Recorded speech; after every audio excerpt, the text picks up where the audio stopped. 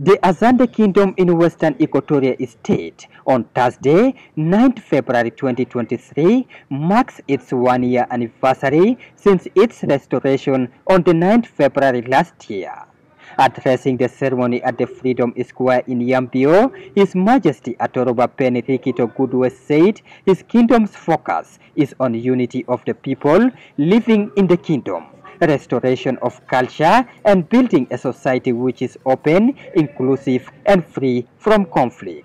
ani yekwana akatingide pokunyenyenki bonkindo nekicilabura wagi rogo guru dwareme rogo gijiwire tigi uru cere cinade ka futama fumboye wa kuna pandala nyani manyi gara sake kadane wa karaga yekindo ana furat logogoludwalame minisumane kafura tupapazereda sipatidu na rogo gani kindo na gani steti na gani lingala kazereda to saragoni kado lenogobambabai ana kafura tupabakinji The Bishop of the Catholic Diocese of Dombura Yambio Eduardo Hiiboro Kussala said the kingdom will support the church and the government's effort in preaching messages of peace and reconciliation.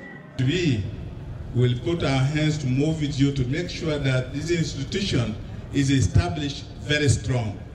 The church cannot unite the people of Western Equatoria. The government cannot unite the people of Western Equatoria. Other institutions cannot do so. But you have the best gift. As a king, you can unite us.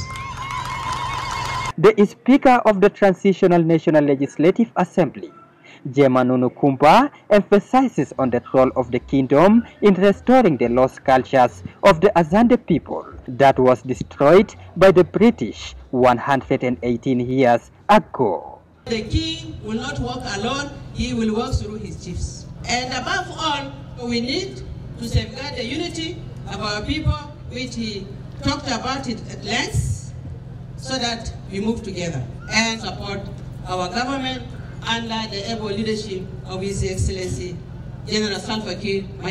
During the one year, the monarch have constituted a specialized committee to oversee activities and progress in the kingdom, as well as global registration of the Azande people.